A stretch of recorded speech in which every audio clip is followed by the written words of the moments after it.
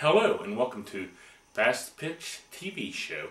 Today we're going to go over something you may have seen kids wearing now out in the field, usually pitchers and third basemen, the Gameface. So we're going to talk a little bit about this.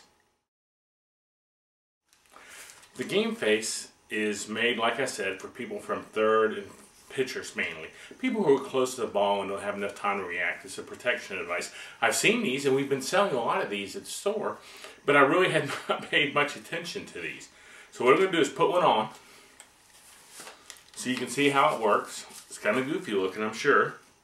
I'm sure a kid would say that too to start with.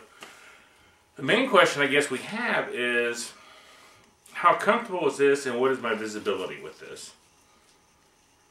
The first time I've had one on. It's not good for talking, I can tell you that, but if I'm not talking, it's it's fine. My visibility is actually really pretty good. Actually, it's very good. It's, it may be better than a, a mask that you uh, wear on your batting helmet. So I don't see how this would hamper a pitcher's visibility at all. And so I'm just looking around, but I'm trying to make like I'm using it. The comfort is fine. So this would give you adequate protection from a ball coming back to the pitcher too quick for them to handle. And like I said, my visibility is fine. So all in all, I can see why this is a good selling product. Uh, that's the Gameface.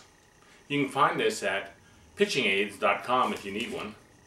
And I'm not sure the price, but uh, it's a nice product. Thanks for joining us.